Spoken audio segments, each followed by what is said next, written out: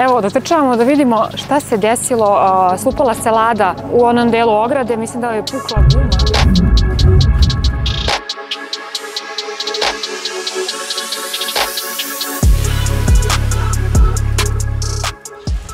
Ćao ljudi, dobrodošli u novi klip. Danas je 29. oktobar, ima 25 stepeni, kao da je leto. A mi su se uputili na grobnik. Nas troje je stalo u ovaj auto. Pitanju je karera iz povedničkog klipa. Ako, je, ako taj klip niste gledali, obavezno pogledajte i komentarišite. Idemo na grobnik da istestiramo ovaj auto, da vidimo kakve su njegove prave performanse. A tamo ću imati prilike da ovaj auto testira pravi profesionalac i takođe da vidimo vreme moje vožnje koje sam, da kažem, lajk u svemu tome i početnika. Nadam se dobrim rezultatima, tako da vidimo se ponovo brzo.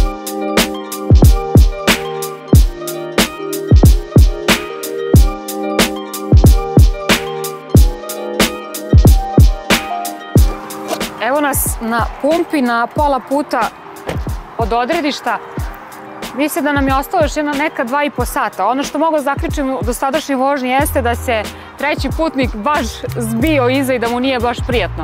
Vrlo sam uzbuđena da vidim kakve su performanse, još jednom da naglasim ovog auta s obzirom da ga nismo nikad testirali u tako nekim uslovima da bude baš, baš konkretno staza, osim u gradu.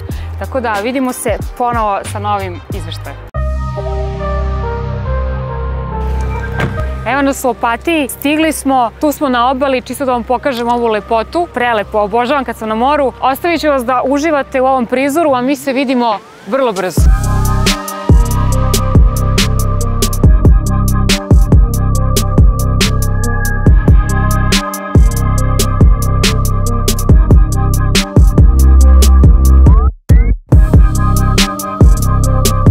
Stigli smo, evo nas u Opatiji, idemo da se odmorimo, a sutra se vidimo na grobniku. Laku noć.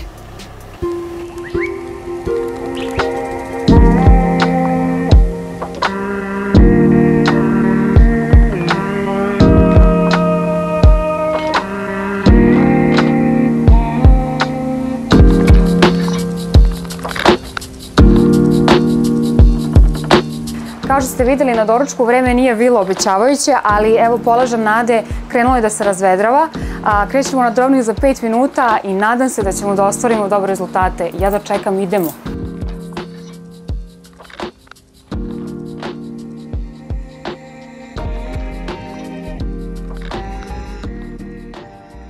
Lepimo nalepnice, spremamo se za traku, izlazimo uskoro, imali smo kratak briefing, Uvodim vas sada da vam pokažem šta se nalazi sve ovde i šta će se voziti na stazi. Ja sam oduševljen, imam ogromnu tremu, baš mi je dobro. Bukvalno se tresem, ovaj zvuk, ovo, vraća me sve na Red Bull ring i onako kako je bilo dobro. Tako da baš sam onako u tremi.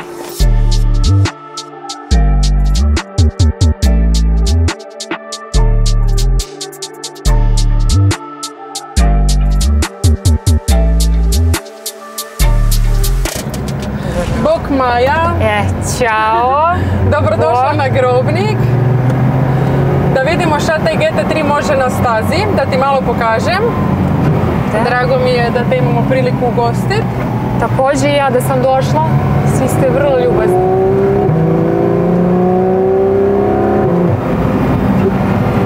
Da te malo provozam i onda da ti meni pokažeš šta smo naučili ovih par krugova. ukratko pokušati objasniti šta radimo na pisti Može. i šta trebamo raditi kako bi mi bili brži. Znači, cilj vožnje po pisti je vožnja čim brža, znači da čim prije završimo krug, zato vozimo, ali tako? Tako je, dobro. A, vožnju treba prilagoditi automobilu, brzini, brzinu isto tako treba prilagoditi. Ono što je prvo bitno je naučiti pravilne putanje na svakoj pisti i iskoristiti cijelu širinu staze, što bi značilo voziti od pasice do pasice, znači od mhm. crveno-bijele crte jedne i do druge.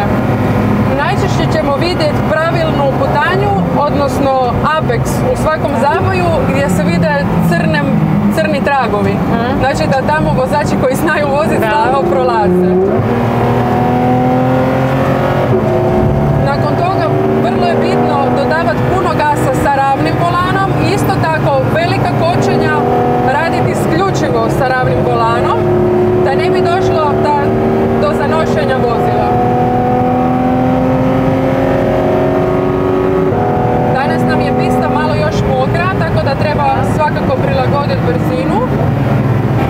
Tu lovimo na široko, prolazimo Apex koji je tu, jako kočimo i ulazimo u zavoj. Si mi dobro? Odlično, odlično.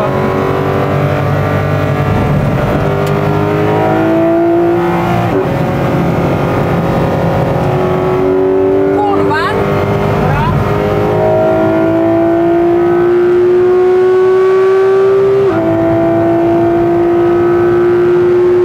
i jako na kočnicu. Da, da, Tu da. nema nježnosti. Ovdje baš mora jako. Tu treba jako da ne gubimo na vremenu Da, da. i sad izvlačimo automobil van. Da na ciljnoj imamo punu brzinu koliko god auto može. Evo i sad ćemo jedan lagani krug Da. da malo hladimo auto, da mi kažeš tvoje dojmove. Odlično. Ja sam oduševljena ovom stazom. Kakve krivine ima, koliko je dobra, koliko je pregledna, ko- koliko je izazovna. Ba, ja, stvarno, jako mi se dopada. Znači, I- očekujemo te opet. Naravno. U što kraćem roku ću se vratiti. To je, to je sigurno. I, I na jako ste lepo mjestu, opatija, tako da to je jedan plus veliki. Znači, ovo je početak jednog novog prijateljstva i druženja. Sigurno, sigurno. Baš mi je bilo lepo.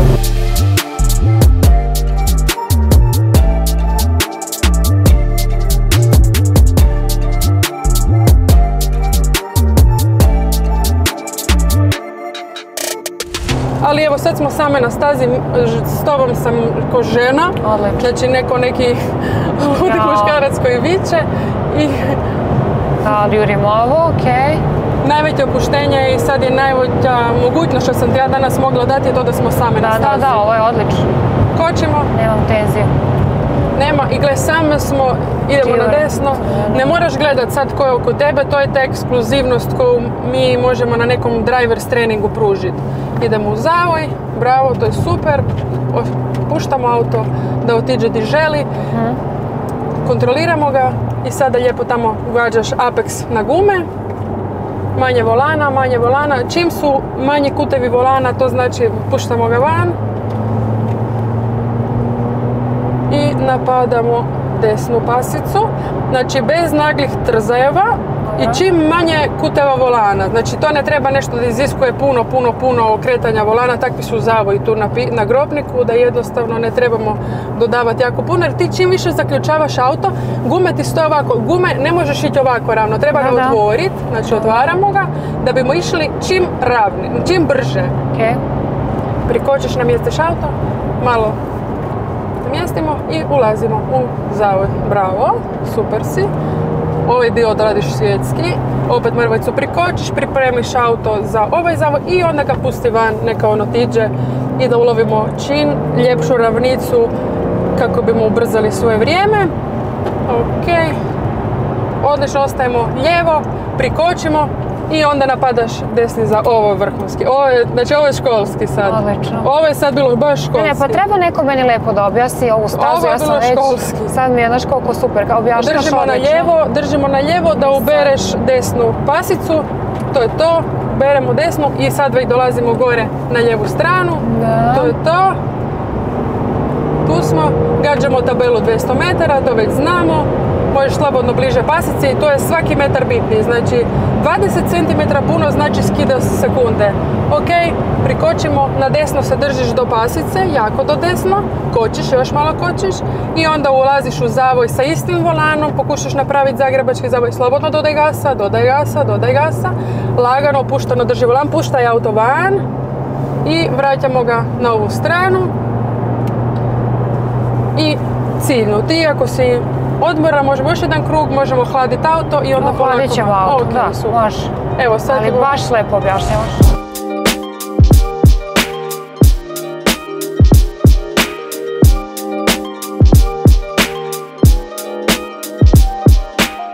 Evo nas vozili smo jedno 6-7 krugova. Sa Nikolom Miljkovićem, mojim prijateljem i Raymondom koji inače organizator ovih evenata na Grobniku. Kazali su mi kako se vozi po ovoj stazi konkretno, sve gripove, sve jake krivine gde je kočenje, kako se vozi u uslovima s obzirom da je asfalt i dalje mokar, tako da treba biti malo oprezniji, ali nije ništa strašno i idemo sad u narednih par sati, idemo na odmor i onda idemo da obaramo vreme, nadam se da će to biti odlično.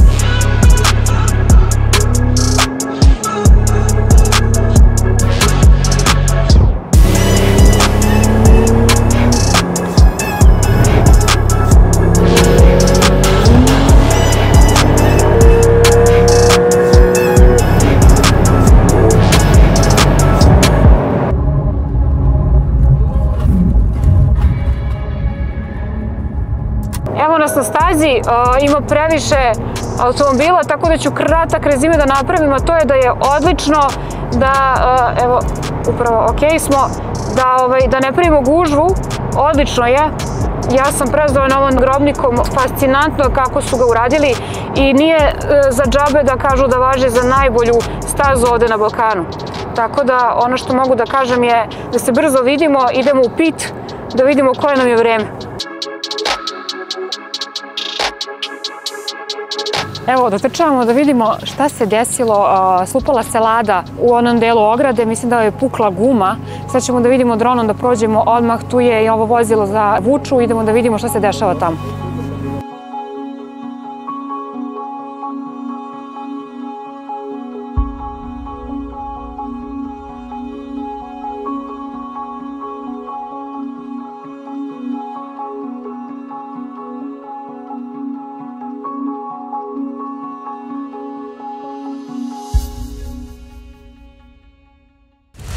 Mlađanom u autu, izlazimo ponovo na uh, stazu.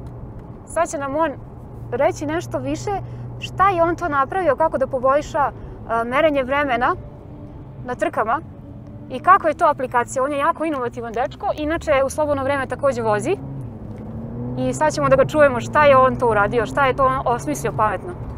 S obzirom da su i meni track devi hobi ovaj, i da ja volim da spojim posao i hobi, ovaj, hteo sam da, da napravim uređaj i aplikaciju koja će omogućiti vozačima da nađu gde gube to vreme, kako da postanu bolji vozači i da postanu brži vozači.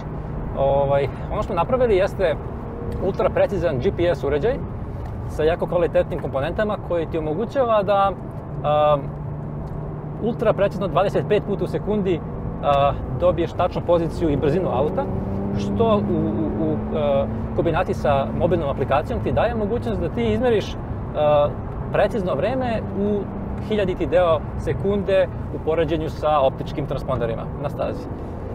To je dobro zato što ti kroz aplikaciju možeš tvoj trenutni krug da upoređaš sa tvojim prethodno brzim krugom, da vidiš live tokom vožnje gde gubiš vreme, gde dobijaš vreme i ovaj, nekad možda da odustaneš od kruga, da ne uništavaš gume i auto ako vidiš da si u prvim mhm. par krivina nešto pogrešila. To je vrlo korisno, vrlo da. korisno. I što je najjače, ti dođeš kući i ti možeš da, da video koji si snimala kroz aplikaciju ili kroz neki eksterni ovaj, GoPro ili šta god, da preklopiš podatke preko videa i da detaljno pogledaš kako si ti to vozila, možeš da šereš na društvenim mrežama, da se pohvališ ako si dobro vozila, a, i možeš da koristiš, a, čak i bez a, same aplikacije, uređaj će sam po sebi logovati te sve podatke na karticu i ti iz te kartice možeš da izvučeš ovaj, taj log file, da ga učitaš na računar i uz pomoć profesionalnih uh, aplikacija na, na, na uh, računaru kao što je Circuit Tools i slični, možeš da vidiš gde ti to gubiš vreme u odnosu na sebe ili neke ovaj, druge ljude. Ja se sad nisam trudila da vozim baš brzo da ćemo izaći. Da, da. Ali, jer sam bila skoncentrisana na tvoju priču, ali baš mi zvuči jako inovativno i zanimljivo i mislim da, da si napravio pravi pogodak sa, sa tom aplikacijom.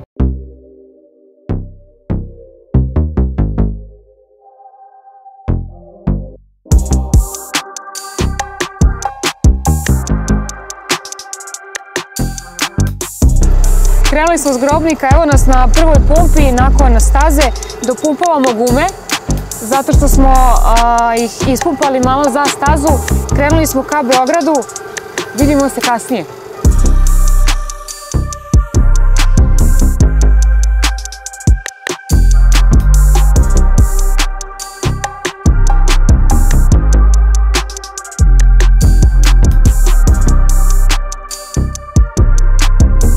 nas na steku, stigli smo konačno u Beograd.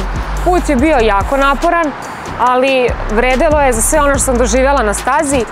Hvala što ste gledali klip, hvala što me pratite. Subscribeujte se, komentarišite i vidimo se u još luđem klipu sljedećem. Ćao!